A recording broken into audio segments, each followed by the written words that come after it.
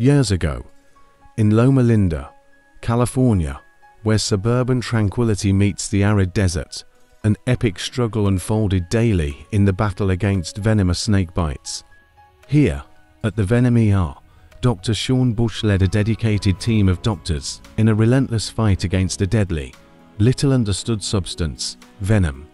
This toxin, with its insidious ability to seek out and exploit human weaknesses, posed a constant threat, and the Venom ER was the front line in this battle.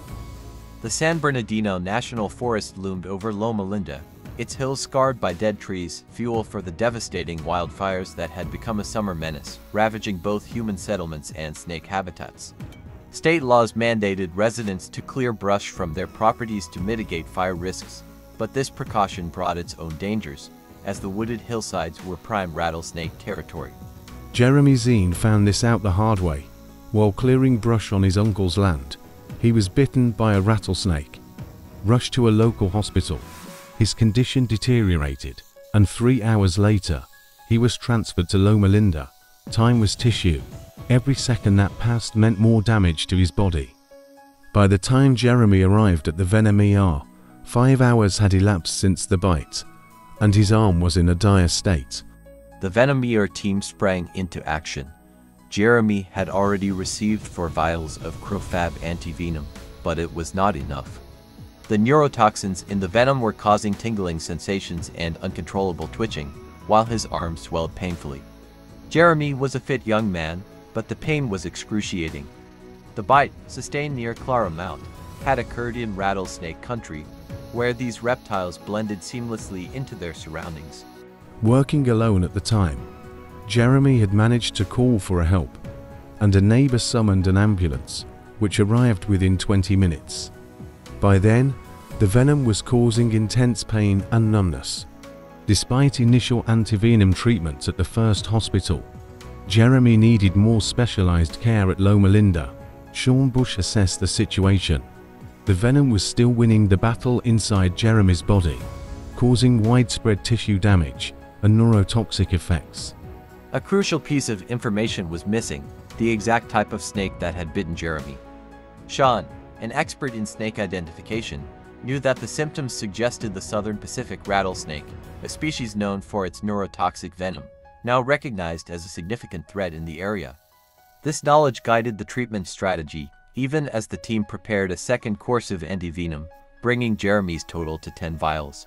As night fell, another drama unfolded at the veterinary hospital where veterinarian Debbie Vish treated Max, a family pet bitten by a rattlesnake. Max belonged to Professor Bill Hayes, a leading expert on rattlesnake biology. Earlier that afternoon, the Hayes family had been walking in the hills when Max encountered a rattlesnake. For Max, it was an intriguing creature. For the snake, Max was a threat. Like the Venom ER, the veterinary hospital carried rattlesnake antivenom, the first step was an allergy test on Max's skin to ensure it was safe to administer the full dose. After confirming no allergic reaction, the treatment proceeded, and Max remained under observation overnight. Back at the Venom ER, Jeremy's condition remained serious. His arm was still swollen, and there was a risk of compartment syndrome, which might have necessitated surgery. Dr. Bush aimed to avoid this outcome. Jeremy's family had arrived, bringing essentials and emotional support. The anti-venom infusion continued, battling the venom in his system. It was going to be a long night. By the next morning, with Brandy Parsavo on duty, Jeremy received another two vials, bringing his total to 16 far more than most patients required. It had been one of the most challenging cases of the season.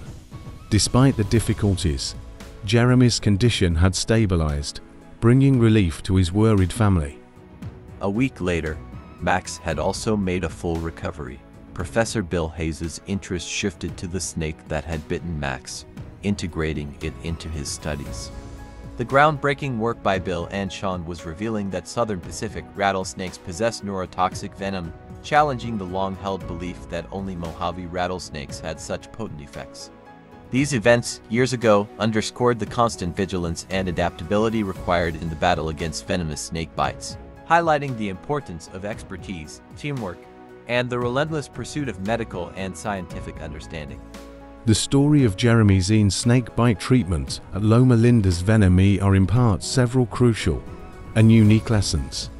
First and foremost, the significance of expertise and experience in handling venomous bites is evident.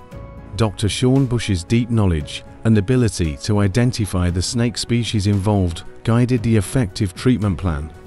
This underscores the necessity for seasoned professionals in critical medical situations. Additionally, the story highlights the intense learning curve for medical personnel, illustrated by the rapid adaptation and decision-making required in high-pressure scenarios.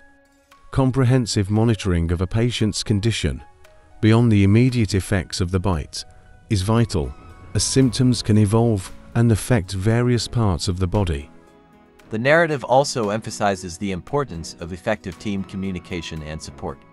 The coordination between Dr. Bush and his team, as well as the seamless integration of emergency medical services, was crucial for Jeremy's treatment. Adaptability is another key lesson. The variability in venomous bite reactions demands that medical professionals be prepared for a range of symptoms and complications. Attention to detail is highlighted by the meticulous steps taken, such as allergy testing for antivenom in Max's case, to prevent adverse reactions. Moreover, the story demonstrates the ongoing nature of education in the medical field.